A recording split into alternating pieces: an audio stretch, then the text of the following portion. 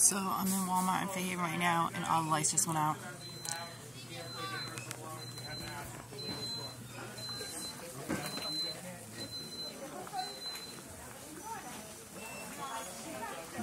Wow, this is crazy.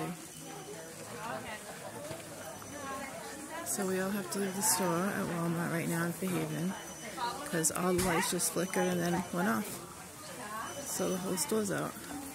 So I can't get the stuff that I need. So I guess I'll just have to get it tomorrow? I guess.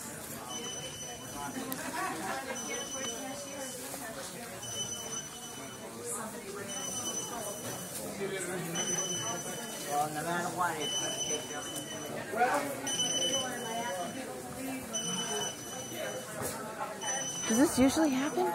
Wow, the sun, um, uh, but I mean the lights have been flickering, so Yeah. Wow, crazy. Right?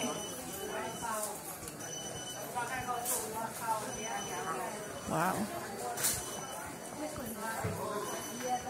Can't even go out the other door because the door won't even open.